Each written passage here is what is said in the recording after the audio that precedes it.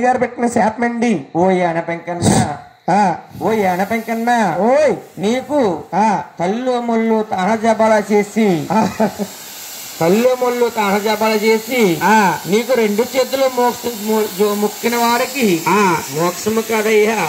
నీకు కడుపు నిండా భోజనం చేసైనా సరే. అయినా సరే. పాచి ముఖంతో అయినా సరే. అయినా సరే. నీకు ఒంటి సేదన్నం